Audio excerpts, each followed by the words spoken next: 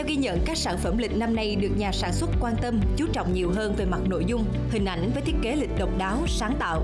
Bên cạnh đó, các sản phẩm cũng truyền tải nhiều thông điệp qua từng chủ đề, gần gũi với đời sống thường nhật về con người, văn hóa Việt Nam, như hình ảnh làng nghề truyền thống, các món ăn đặc trưng, cây mai, cây đào hay đơn giản đó là hình ảnh con trâu, cánh đồng nơi làng quê Việt. Về số lượng thì chúng tôi cũng cũng lấy giấy phép y như năm ngoái nhưng chúng tôi sản xuất thì thăm dò.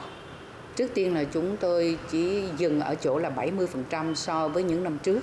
Thì chúng ta thấy rằng là tình hình của chúng ta ảnh hưởng rất nhiều về cái Covid-19 cho nên là chúng tôi vừa sản xuất vừa thăm dò để mà tái bản. Sau khi tham khảo một số sản phẩm lịch trên các nhà sách trên địa bàn thành phố thì mình cảm thấy những sản phẩm không chỉ đa dạng về mẫu mã mà còn rất là uh, đẹp, thiết kế đẹp và uh,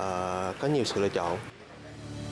Theo ghi nhận trên các trang web và cửa hàng của một số cơ sở kinh doanh lịch Tết, các loại lịch như lịch block, lịch treo tường, lịch để bàn vân vân đang được bày bán với giá phổ biến từ 50.000 cho đến 600.000 đồng tùy mẫu mã và kích thước.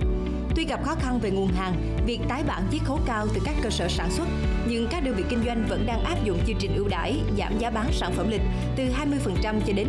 30% nhằm kích cầu tiêu dùng, mang đến cho người tiêu dùng những sản phẩm chất lượng với giá cả phải chăng.